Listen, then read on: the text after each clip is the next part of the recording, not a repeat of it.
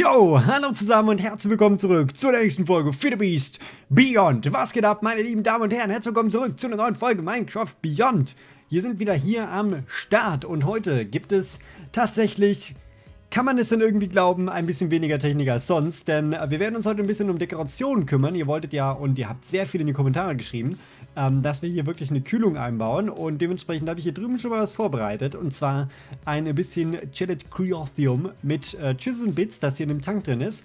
Es funktioniert jetzt erstaunlicherweise, denn es hat kurze Zeit lang nicht funktioniert. Und ähm, das lag dann eben so daran, dass man hier praktisch durchgucken konnte. Ich kann euch das mal zeigen. Denn wenn man hier runter geht, dann seht ihr vielleicht, man sieht hier den Kern trotz äh, den ganzen Sachen. Also man sieht die durch die Flüssigkeit, was sehr doof ist. Ähm, und so war das auch teilweise mit der Flüssigkeit. Das heißt, wenn man hier reingeguckt hat, dann hat man irgendwie so komische Flecken gehabt, wo immer durchgeschimmert haben und sowas. Jetzt funktioniert es und das ist wieder sehr cool. Und wie gesagt, heute werden wir uns ein bisschen um Deko kümmern. Das heißt, wir werden vielleicht hier ein bisschen was schöner bauen. Mal gucken. Ähm, ansonsten das zweite Reservoir werden wir natürlich auch noch anders machen. Da machen wir eine zweite Flüssigkeit rein. Äh, hier genau dasselbe. Hier machen wir so ein paar Tropfen, die von oben runterkommen. Wir machen hier natürlich noch eine Decke oben drauf, so gesehen, damit die Flüssigkeit auch nicht äh, noch voll ist und nicht nur hohl. Ähm, ja, was gibt's noch? Hier drüben würde ich gerne noch ein bisschen was machen. Mal gucken, was wir hier noch mit reinbauen. Oben unseren Kern würde ich auch gerne mal fertig bekommen. Mal gucken, ob wir das heute noch dazu schaffen. Und äh, ich glaube, das war sogar schon fast alles. Ich gucke mal, was mir so on the fly noch einfällt für die heutige Folge. Ansonsten schnappen wir uns gleich erstmal ein paar Dinge. Und zwar brauchen wir einmal ähm, unser Chisholm Bits Water Ding. Und das ist dieses hier, Chisholm Bits Fluid Tank. Äh, Chisholm Fluid Bit Tank, okay. Und dann brauchen wir noch Challenge Cuteum. Zack, dann nehmen wir uns diesen Bucket und dann packen wir das einfach hier rein, klicken hier mit Rechtsklick drauf und dann kriegen wir praktisch die ganzen Bits hier raus. Ich habe leider kein Bitbag gerade, aber ist auch nicht super schlimm. Und äh, ich wollte schon öfter mal zeigen, wie das denn eigentlich funktioniert, Chisels und Bits. Aber theoretisch ist es einfach wie Bauen in sehr, sehr klein. Das heißt, ihr habt hier diese Bits, die ähm, 16 von den normalen Bits einnehmen. Und oh man, ich bin mir gerade nicht ganz sicher, ob 16 oder 8 sind. Und dann könnt ihr die eben ganz normal hinsetzen. Ihr müsst halt praktisch denken, okay, das ist jetzt so lang wie, äh, so groß wie ein normaler Block, aber halt eben klein, sag ich mal. Und hier seht ihr auch wieder, was ich davor meinte dass man die Flüssigkeit hier durchziehen kann. Wenn wir das jetzt so setzen, ich habe hier gerade den Modus Line ausgewählt, dann äh, werden wir das Ganze... Oh, jetzt sieht man es auch wieder. So wie das jetzt hier gerade aussieht, so war das gestern die ganze Zeit. Und das gefällt mir natürlich absolut gar nicht. Deswegen, ähm, ja, müssen wir das irgendwie wieder wegbekommen. Also das wäre relativ gut, wenn wir das schaffen. Ich weiß nicht, ob wir... Äh, oh, ich habe keine Chisel, lol. Äh, Chisel, Chisel, Chisel, Chisel. Ich hoffe, wir kriegen das gleich so schön wieder weg. Ich gehe lieber auf Draw Region und mache das dann so ein bisschen weg. So in etwa. Aber jetzt schimmert das immer noch so komisch. Na, okay. Wir bauen das mal ganz kurz zu Ende und gucken mal, ob es dann immer noch genauso bleibt. Ähm, theoretisch können wir eigentlich auch auf Draw Region bleiben und dann... Ups, hier stellen wir auch auf Draw Region. Und dann können wir das hier einfach mal ausmalen. Wir können jetzt also praktisch hier diese Ecke nehmen und die nach hier drüben irgendwo dran ziehen. Ich sag mal hier in etwa. So, zack. Und jetzt haben wir hier so einen zwei großen Balken. Und ihr seht auch jetzt wieder hier, das schimmert immer so komisch. Ja, einfach äh, schimmert komisch. und äh, das war eigentlich so der Grund, warum, warum ich die Flüssigkeit erst nicht wollte. Aber jetzt funktioniert sie ja scheinbar wieder. Und wenn sie so bleibt, dann wäre das natürlich sehr, sehr cool für uns, denn dann können wir das damit auf jeden Fall bauen. Okay, dann mache ich mal ganz kurz hier den Deckel oben drauf und dann gucken wir, ob es dann immer noch so ist. Und dann sehen wir uns gleich wieder, wenn das geschehen ist.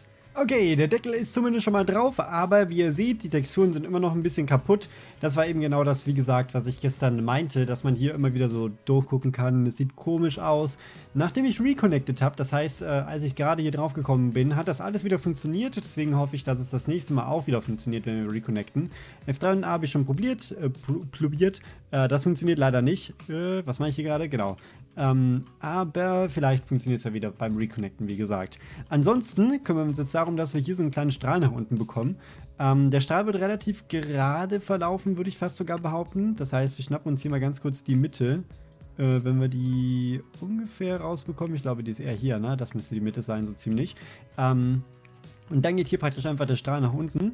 Äh, natürlich erstmal so ein kleiner Kern, den wir hier in der Mitte haben der nach unten geht und dann können wir das irgendwie noch ausschmücken. Aber ich glaube, selbst wenn es gerade nach unten geht, dann sieht es nicht schlimm aus. Ich meine, normalerweise wird es auch nach, gerade nach unten gehen. Also können wir das, glaube ich, sogar so lösen. Dann holen wir uns einfach nochmal ein paar mehr und bauen hier das Ding noch fertig.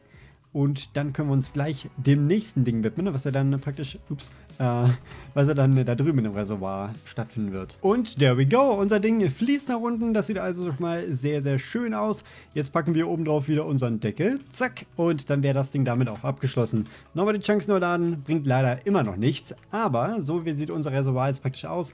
Wie gesagt, die Texturen werden sich hoffentlich noch ein bisschen fixen, wenn wir da das nächste Mal reinkommen. Das heißt, wir kümmern uns jetzt um das nächste Reservoir, und das ist dieses hier, und das werden wir auch komplett voll machen. Das heißt, ähm, das wird einfach, ja, bis ganz nach oben hin gefüllt. Ich glaube, wir benutzen dafür Destabilized Redstone oder ähm, Glowstone. Aber Glowstone wird wahrscheinlich ein bisschen schwer, deswegen Destabilized Redstone klingt, glaube ich, mal ganz okay. Äh, Kriege ich die Flüssigkeit hier eigentlich wieder raus? Ne, dann bauen wir das einfach mal ab. Ähm, dann ist es weg, sehr gut. Und jetzt holen wir uns hier Destabilized Redstone, diesen wunderbaren Bucket. Nehmen uns hiervon die Bits und dann machen wir genau dasselbe. Ähm, die Sachen außen habe ich praktisch einfach so gemacht. Wir gehen auf Connected Material und klicken dann einfach hier diese Scheibe an. Okay, wir bräuchten natürlich ein paar mehr Bits dafür. Ähm, aber ja, ich klicke einfach die Scheibe an und dann übernimmt praktisch das Destabilized Redstone beziehungsweise die Bits davon direkt die Form von, äh, von dem Objekt, auf das ihr klickt. Das heißt, wir nehmen wirklich nur das hier mit. Genau dasselbe hier. Jetzt müssen wir hier gucken, hier haben wir ähm, noch einen kleinen Abstand mit dazu, der dazu mitgenommen werden muss.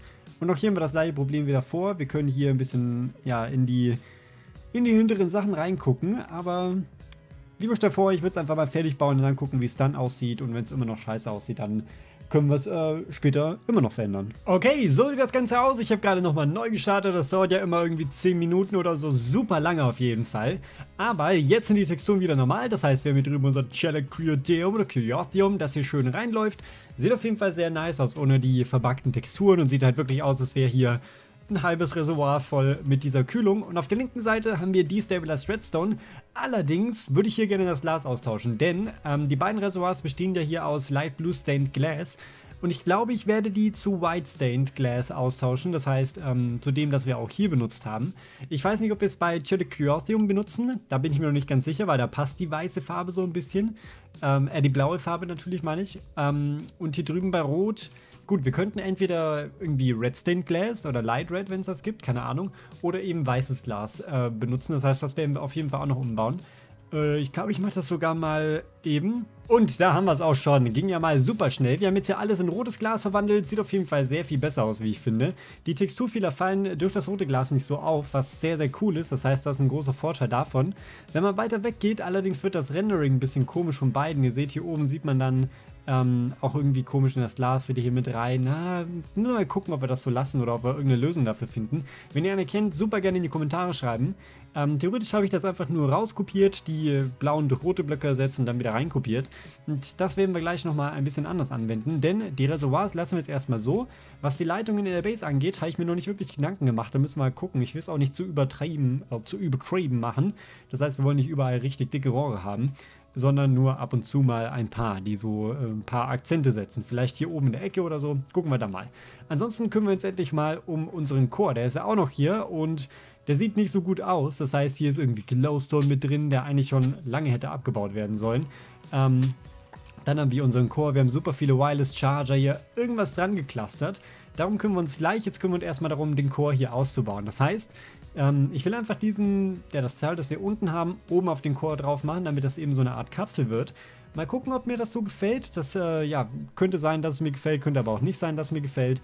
Und wenn es mir nicht gefällt, dann bauen wir es wieder um. Ansonsten lassen wir es erstmal so. Da wir das ganze Ding jetzt praktisch flippen wollen, ähm, können wir hierfür ein Mirroring-Pattern benutzen. Das heißt, äh, wir können es ja nur in, in einer Achse drehen, so gesehen, aber wir können das Ganze nicht in die gespiegelte Achse drehen. Macht das Sinn? Ich glaube ja. Äh, deswegen spiegeln wir jetzt einen Teil. Äh, wir nehmen uns das Beispiel einfach mal diesen Bogen. Ich glaube, an dem kann man es am besten sehen. Denn wenn wir uns den jetzt einfach mal kopieren würden, ähm, dann seht ihr natürlich, wenn wir den jetzt hier irgendwo aufstellen, der Bogen geht immer nach unten. Das heißt, äh, kann ich den irgendwie, ach ja, ich kann ihn ja drehen, damit ich es euch besser zeigen kann. Äh, wir haben oben das gerade Teil und dann geht der Bogen nach unten rechts. Oder eben, ja, er geht immer nach unten. Der Bogen wird nie oben sein, egal wie wir das Ding drehen. Und dafür gibt es das Mirroring Pattern, beziehungsweise das Mirroring Chisel Design. Und mit dem könnt ihr einfach von der Seite gucken, von der ihr kopieren wollt, beziehungsweise von der ihr spiegeln wollt. Das heißt, wir gucken von unten, wenn wir es nach oben spiegeln wollen. Klicken hier drauf, dann craften wir das Ganze mit einem Positive Chisel Design zusammen und jetzt haben wir hier das Pattern, wo unser Bogen praktisch nach oben geht. was man auch sehen kann. Ja, jetzt sieht man es auf jeden Fall. Genau, jetzt geht der Bogen nach oben und das werden wir jetzt praktisch einfach mal bei dieser kompletten Kuppel machen, damit wir die Kuppel von unten auch oben drauf haben und dann kümmern wir uns später auch um den Kern, denn da fehlt natürlich auch noch einiges. Mal gucken, wie viele Blöcke wir hier überhaupt reinbekommen innen drin, denn da müssen ja auch noch irgendwie, ja, der ME-Kern muss dann noch mit dazu, die ganzen anderen Sachen untergebracht werden. Das wird auf jeden Fall noch interessant, ansonsten machen wir das jetzt mal und dann sehen wir es auch nach dem Fingerschnipp wieder. Okay, ja, holy moly, das hat wieder so lange gedauert, dieses Ding umzubauen, aber wir haben es geschafft. So sieht unsere Kapsel jetzt so gesehen aus. Unser Wireless Brain nenne ich ihn jetzt einfach mal. Theoretisch könnten wir das Kabel oben sogar wegmachen, aber es passt irgendwo, dass da so eine, eine Connection nach oben noch ist. Ich denke, ich werde doch so ein paar Sachen mit Chisels und Bits bauen, die dann praktisch die äh, Kapsel hier oben an die Decke verbinden. Das heißt, hier irgendwie nochmal so ein Arm, der nach oben geht und das eben von allen Seiten, dass es irgendwo doch ein bisschen realistischer gehalten wird als von diesem Mini-Kabel. Ähm, den Kern haben wir umgebaut, das sieht auf jeden Fall sehr nice aus und ist auch viel kompakter geworden als gedacht. In der Mitte haben wir einfach den ME-Controller hier drin stehen und dann haben wir an der Seite überall die Wireless Connector. Hier haben wir noch ein Private Access Terminal, wir haben hier ein Interface und darunter eine Chest und wir haben... Ähm, ja gut, hier unten genau dasselbe Wireless. Hier haben wir unseren Quantum Entangler, hier haben wir unser Wireless Access Point und so gesehen äh, passt damit jetzt alles. Also, so sieht das Teil jetzt aus. Auf jeden Fall schon mal ein bisschen besser als zuvor. Äh, wie gesagt, das Kabel oben müssen wir irgendwie noch verstecken oder ähm, irgendwie verkleiden, damit es ein bisschen cooler aussieht. Und damit sind wir jetzt so gesehen ready to rumble, würde ich einfach mal fast behaupten. Ist auf jeden Fall sehr, sehr cool geworden, aber wie gesagt, hat auch relativ lange gedauert. Ich habe das Wasser innen drin auch noch gemacht, das hat auch noch ewig gedauert. Ihr seht vielleicht, hier ja sieht man, ähm, da läuft wieder eine Schicht von Chisholm Bits mit Wasser hier runter. Das heißt, äh, außenrum hier komplett überall, als wäre der Kern eben gekühlt. Ich meine, wenn man hier oben reinguckt, dann sieht man zwar, dass es nicht so ist, aber wenn man von außen guckt, dann sieht es eben so aus, als wäre dieser Kern innen drin irgendwie gekühlt oder sowas. Und ähm, für die Leute, die es nicht wissen, es sieht zwar jetzt nicht mehr ganz so krass aus, aber dieses Teil sollte eigentlich mal der ähm, oh, wie heißt das Ding nochmal? Von, von Iron Man, der komische Kern sein, den er in seiner Brust hat. äh, ich hatte mir da so ein Referenzbild rausgenommen und äh, das wollte ich dann eben nachbauen. Deswegen ist auch zum Beispiel ähm, dieses löcherige Ding hier innen entstanden. Ich gucke mal, ob ich das Bild noch finde. Wenn ja, dann blende ich euch das ein. Dann könnt ihr euch vielleicht ein bisschen besser vorstellen, was ich hier meinte. Wenn man von unten guckt, sieht man es vielleicht auch ein bisschen besser mit dem weißen Ring hier, dann diesen innen drin. Mir fällt nur gerade nicht mehr ein, wie, der, wie, das Teil heißt. Aber ist ja, glaube ich, auch nicht so super schlimm. Hoffe ich auf jeden Fall mal.